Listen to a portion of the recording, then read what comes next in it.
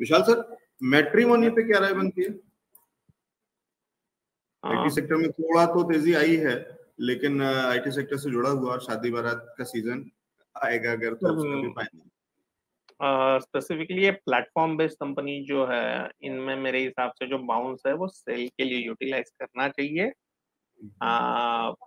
Particularly higher level पे अगर exit कहीं भी मिलता है तो इनमें से एग्जिट करना चाहिए वापस जो बाकी दो चार स्टॉक हम लोगों ने डिस्कस किए यही, ये भी स्टॉक पे वॉल्यूम की इश्यूज़ बहुत है।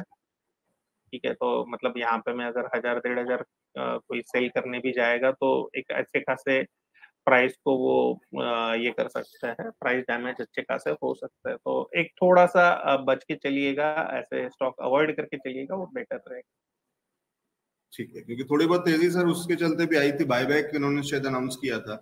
तो वो उसका भी एक थोड़ा सा एक अपडेट आया था, लेकिन ये सस्टेनेंस और बाकी चीज़ों में जो थोड़ा सा कहीं ना कहीं शंका है, वो कह रहे हैं विशाल सर कि इसलिए थोड़ा सा बच के चलने की राय है।